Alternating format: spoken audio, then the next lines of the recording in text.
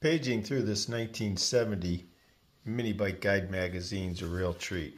I say that because there's so many cool bikes from the old days that you just don't remember or don't remember till you see it, see them. And the same thing with the ads. It's great bikes on these uh, uh, parts for the bikes and things like that.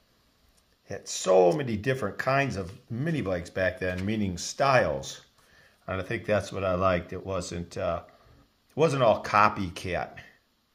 Your older frames are pretty much the same, but it wasn't all copycat.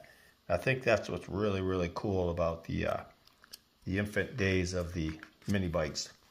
With just so many different makes and models. You'd look at them and you wanted every single one of them, if you know what I mean. Anyway, thanks for watching. Please share.